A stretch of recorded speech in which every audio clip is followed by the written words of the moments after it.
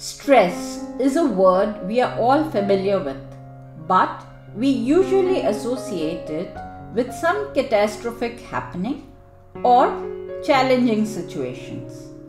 Little do we realize that we have developed certain lifestyle habits that trigger stress. The book, Are Teeny Tiny Stress Triggers Troubling You? helps readers identify their specific stress triggers and how to minimize their impact.